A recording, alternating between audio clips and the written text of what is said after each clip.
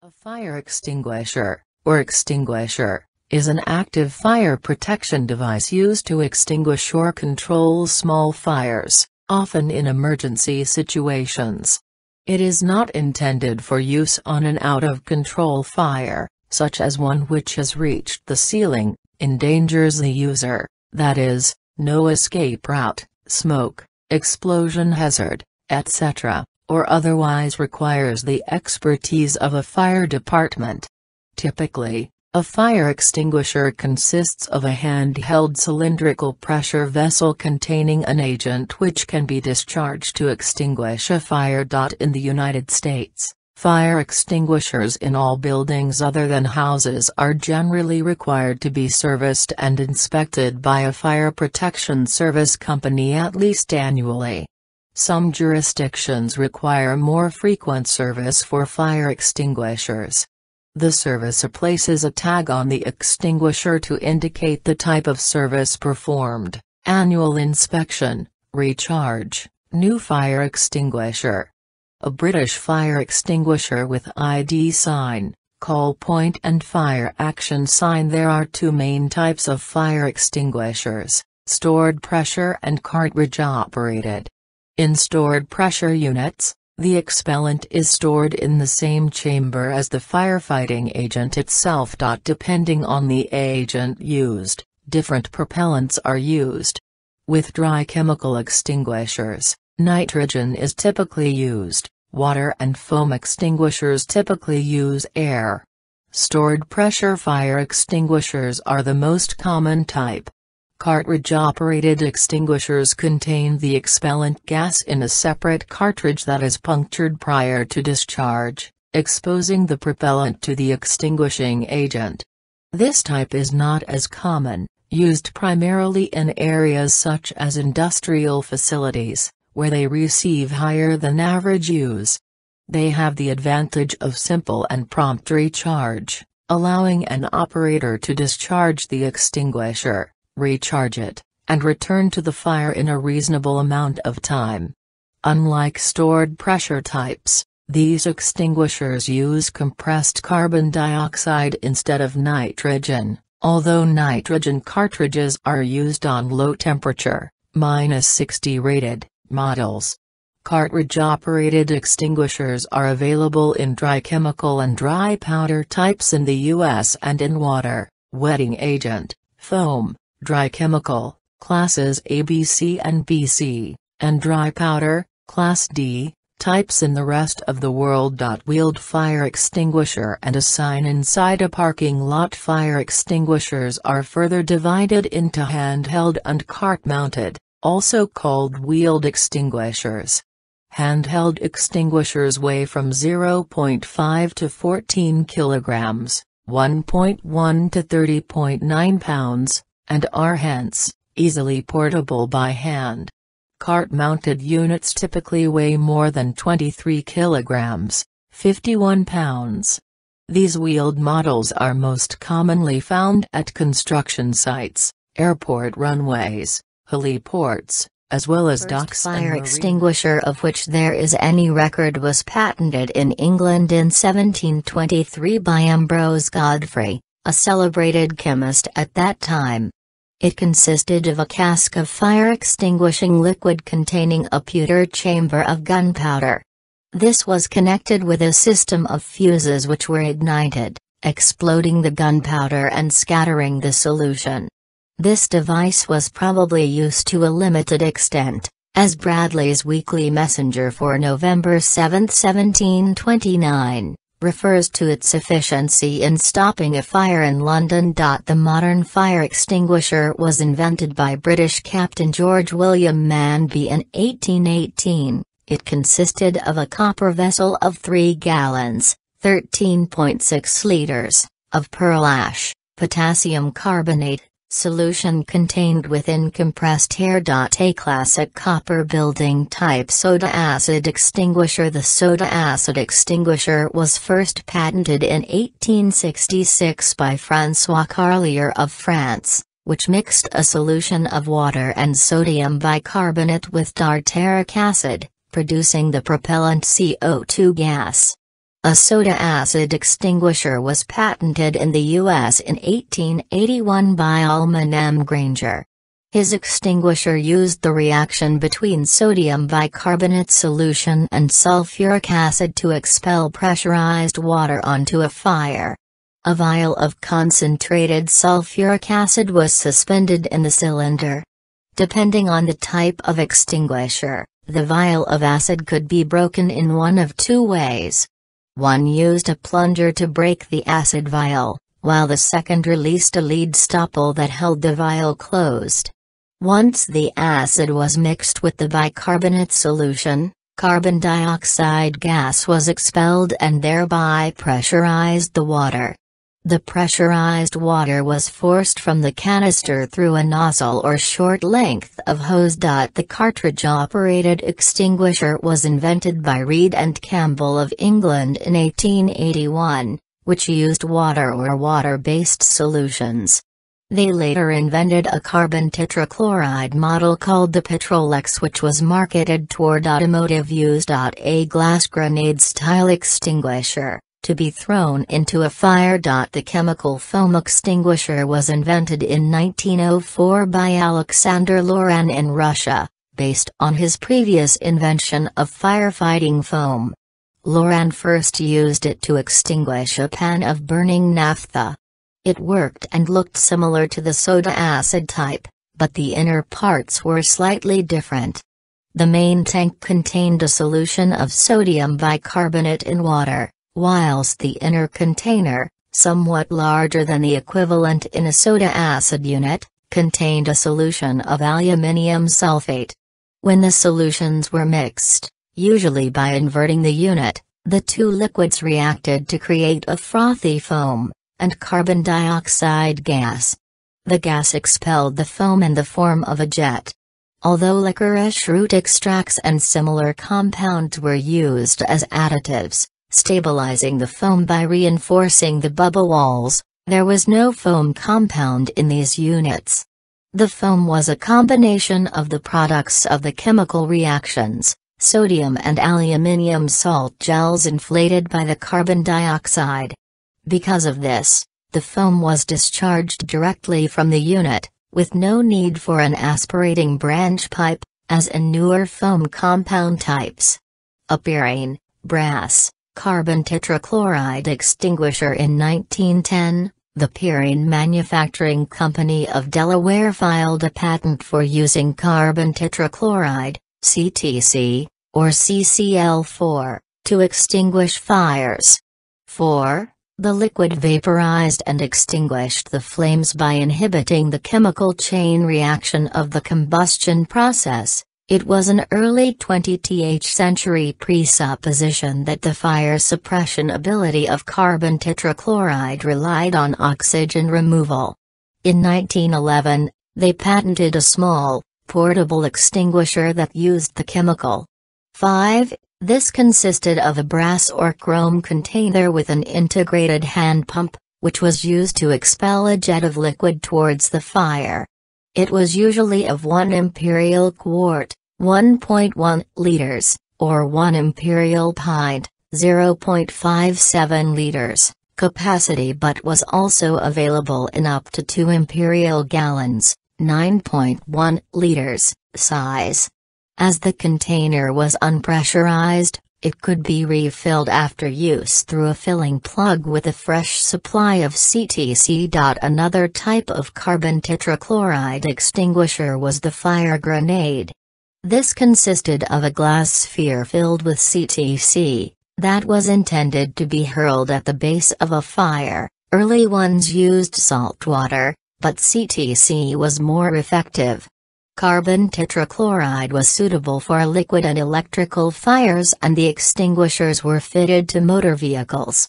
Carbon tetrachloride extinguishers were withdrawn in the 1950s because of the chemical's toxicity. Exposure to high concentrations damages the nervous system and internal organs.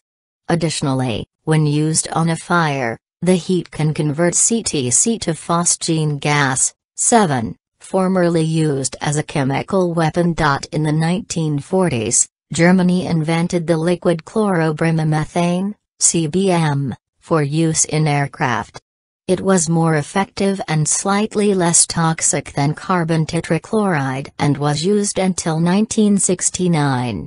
Methyl bromide was discovered as an extinguishing agent in the 1920s and was used extensively in Europe. It is a low-pressure gas that works by inhibiting the chain reaction of the fire and is the most toxic of the vaporizing liquids, used until the 1960s.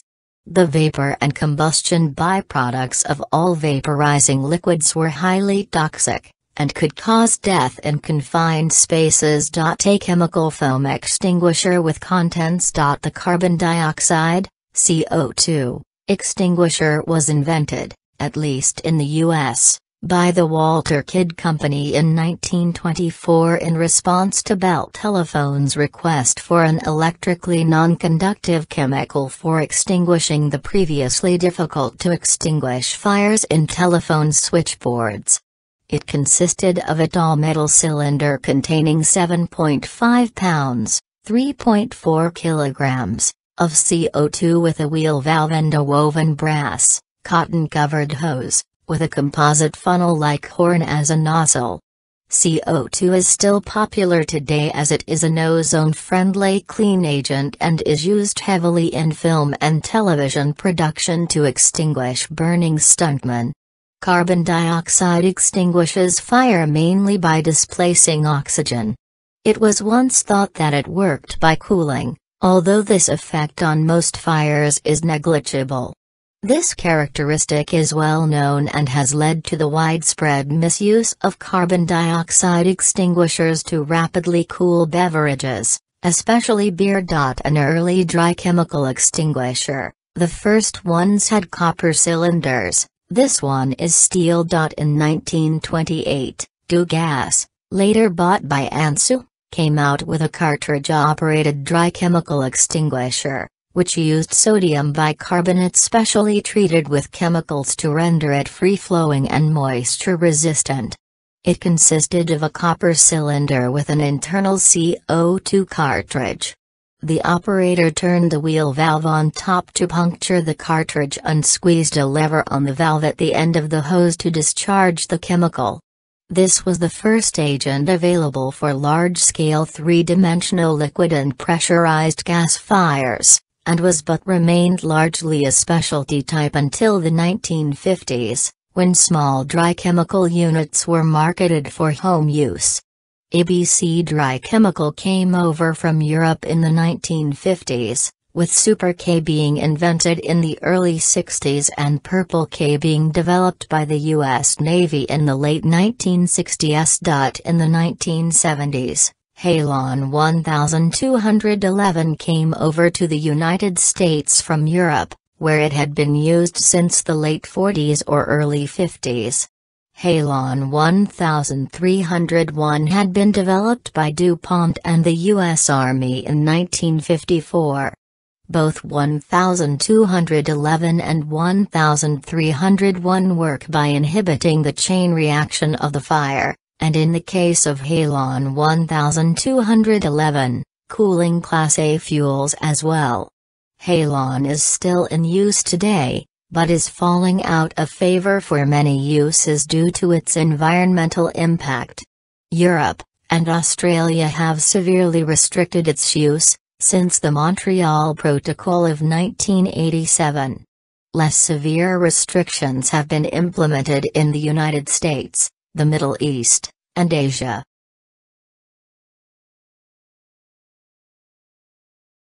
Classification Internationally there are several accepted classification methods for handheld fire extinguisher.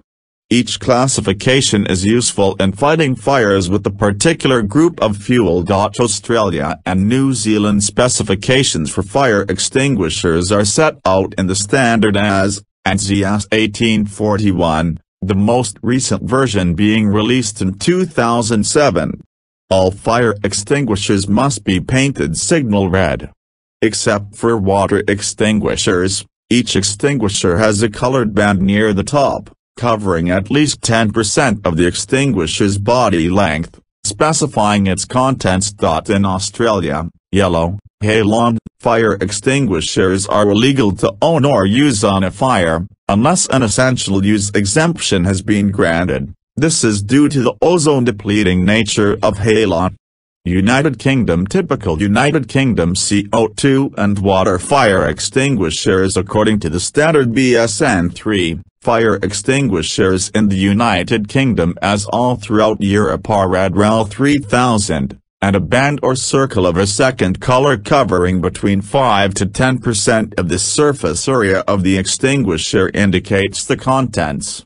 Before 1997, the entire body of the fire extinguisher was color-coded according to the type of extinguishing agent. The UK recognizes six fire classes Class A fires involve organic solids such as paper and wood. Class B fires involve flammable or combustible liquids, including petrol, grease, and oil. Class C fires involve flammable gases. Class D fires involve combustible metals. Class E fires involve electrical equipment slash appliances. Class F fires involve cooking fat and oil. Class E has been discontinued, but covered fires involving electrical appliances.